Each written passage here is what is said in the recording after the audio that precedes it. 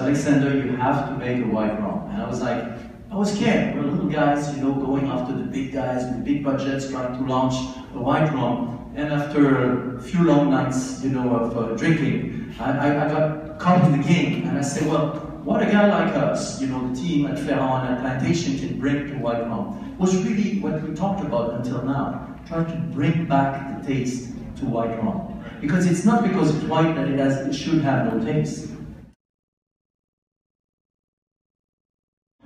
I just want to throw in a little history about white rum, by the way. Just so you know, some countries that do white rums, like Dominican Republic, for example, Venezuela, and so on, rum has to be aged two years. So when you want to do a white rum, then you have to filter it. And charcoal filtration, I'm not totally fond of charcoal filtration. I have proven that charcoal filtration sometimes, usually, strips down rum, not back to an unaged rum, but back to the skeleton of that same rum. And I've proven that technically several times. But you know, you have to know that a lot of these countries were usually doing white rum, and then the companies got bigger. There's always a bigger guy, the biggest company that passed a law that says any rum called rum should have two years because the smaller company couldn't finance two years of aging. Then suddenly, you know, all these guys couldn't call it rum anymore, but aguardiente. And these guys didn't have any market anymore. One guy is left standing because he can afford two year aging and then stream it down by filtering. I just thought I could throw that in as an information because that describes a lot of elements of taste, you know, uh, um, uh, about what we're tasting. So just to go back, what we, we, we tried to do was you know, on white rum, the way I looked at it, you either had the super stripped down white rum we talked about, or rum agricole, which is very interesting, on the grassy notes. And I said, how can we build a rum that's got structure, texture, and taste? And I trained as a master blender, you know, when, when, when you, it's a natural thing to say, the beautiful thing is that blending, using different islands, the culture of different islands that I've studied all these years to try to put together a beautiful white rum. In the first one, you have a Barbados uh, um, uh, unaged rum. That's a blend of uh, uh, with a little bit of pot. And so this can be on the top left of your selection in front of you. Sorry for the tasting mats, they just didn't arrive on time. but we'll do it like that. So that's one of the elements. What we wanted to do here is to deconstruct the, uh, uh, the tree star plantation and show you the key elements that we use to blend. Once again, it's not like a recipe we're giving away because it's every time a little bit different, but just to show the base ingredients that we're working with. So that's the number one element. If you want to jump to the second we use a, a, a still from Trinidad. Trinidad doesn't have any pot still anymore. About 15 years ago, they, they you know, it's a wonderful distillery that understands very well uh, uh, the use of American oak and I thought there were some vanilla notes uh, from American oak that were very interesting. So we decided to use that rum. It's aged a little bit, that gives you very interesting uh, elements of aging. Now we, we, we developed a way of filtering the tannins are wrong. because I, am trying to understand what do we mean by white rum. I think we mean rum, the way I look at it, with taste without the tannins, without the heaviness of the tannins. This is what I'm looking for.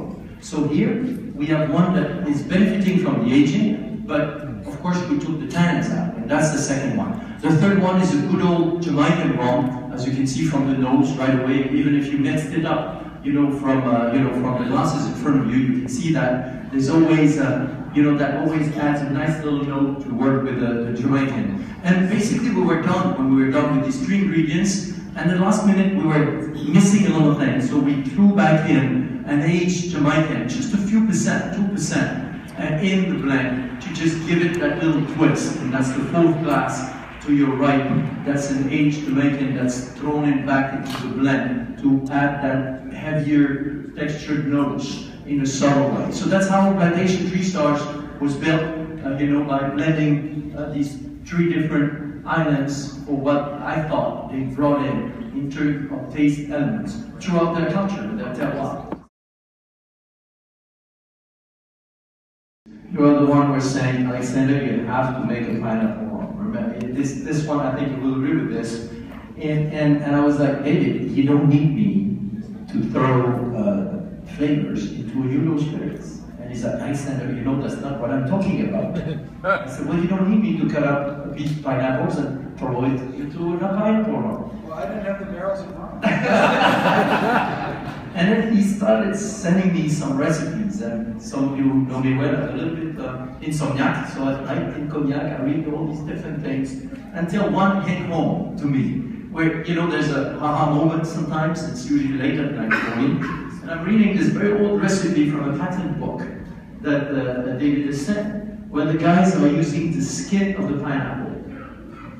And that was that was the trigger in my mind because then everything like a domino, domino play starts to ah, that should be fun. So guess what we do next morning?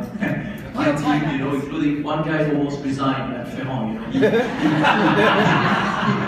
He, he, he, he, gave up his family, his true story, his family estate, those estate. He was fighting with his cousins and he's in Grand Champagne and he comes to me and says, I'm just sick of this guy, I wanna I'm going to sell my estate, we're going to make Grand Champagne cognac the rest of our lives with Ferrand cognac. And you know, when somebody gives hundreds of years of this history, I'm like, okay, Benjamin, come work with us.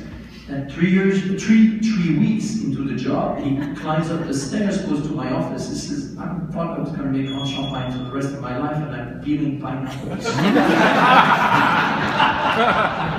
and he said, this is, to him, was like the sky fell on his head. It was like, I think I joined a madhouse. you know, and probably did, actually. so, so because for three months, we ate pineapple for breakfast every morning. That's, you know, the way we all work. Because, and I discovered there's many, many different types of pineapples. So the work the work with, this was this, is just throwing this challenge, and I love technical challenges, and you know, to just say how we can build this. And there's pineapple and pineapple, and we, we had to find the right one. Really the secret, I think, the trigger the moment was just to say, yes, we're going to use the flesh of the pineapple, but we're going to distill the skin of the pineapple. And that's the idea, and that's one of the few recipes that I thought were very interesting. In that case, they were fermenting also some of the skins, and I didn't find any uh, good results in fermenting skins of pineapples. Maybe we should try again, but really infusing the skins into, in that case, the tree stars, the white one, and distilling this uh, uh, once in a, a pot still, a sharp pot still. You get extract all essential oils and flavors. If you want to put your nose on the number five in the middle, that's the latest distill of the skins of a Victoria pineapple. We tried, we use very little of this, by the way. We use just 7%.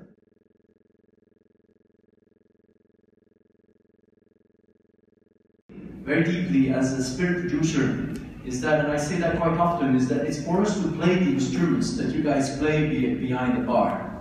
And sometimes inspiration comes by somebody coming and visiting us and throwing a curveball at us. And there's these little things that are inspirational, and yet they come, yes, they come from the past, and I know that's important, but I like what Jeff you were saying, uh, you know, yesterday it's also, there's the past, but also the future, there's also what we learn. Every day we learn things. You know, we, we have studied a lot what is called wood management. Uh, you know, it's uh, at least 20 years. You can say Cognac how you use wood. And remember what Jeff, uh, Jeff was saying, when you're done with this, you think you know everything about oak, and then what about acacia? What about mulberry? What about wild cherry? All these were used in the past. Shouldn't we revisit them? And of course we did this, and, and that's something that you learn a lot. So it's the more you know, the more you know you don't know, right? All these doors open one after the other. And that's really, that's really a wonderful thing. And in the end, it's with great guys behind the bar and people who are like with friends sharing a good moment that we have in mind. So this is all these curveballs we sometimes get or we receive that are very inspirational. They, can, they may come from the past, but they may come from somebody who's really has a vision or is just dreaming something up. That's, that's I think, very important. And the work on wood you were talking about, is super important, and I can talk to you about that.